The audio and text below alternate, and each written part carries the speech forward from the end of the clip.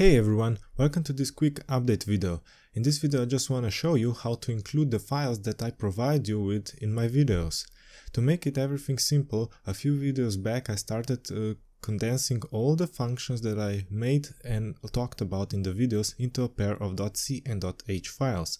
That could make it easier for you to just import those files into your project and just continue working on them in any project or properties you have but some people ask me how to do that and here is how the two ways that I can show you.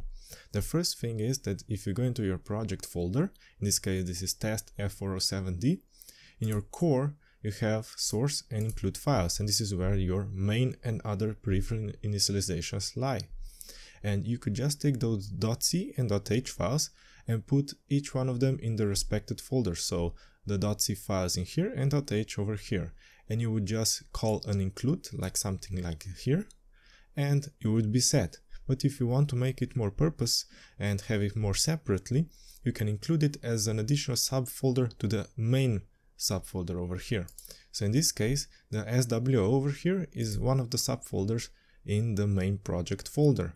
And in here we have a pair of .c and h files and how to include those like that because now they have uh, no recognition in the software. If I would compile them, the compiler wouldn't find them. So for that, go to Project, Properties, and go into the Build, General, and Paths and Symbols. In here, go firstly for the includes and click Add. We need to include a subfolder. This is a workspace path. Go to the workspace button and into your main workspace folder, go to your main folder that you added for your libraries and click on the include subfolder. Make sure you have the folder that only has the includes in them. Click OK.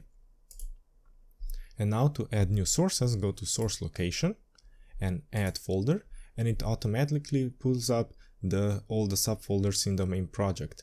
In this case, just click on the main one, in this case SWO.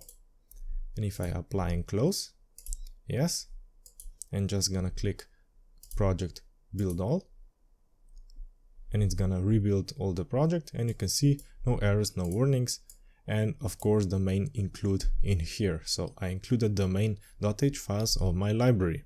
And this is the two ways that you can include all the files that apply in my videos. Thank you for watching and happy coding!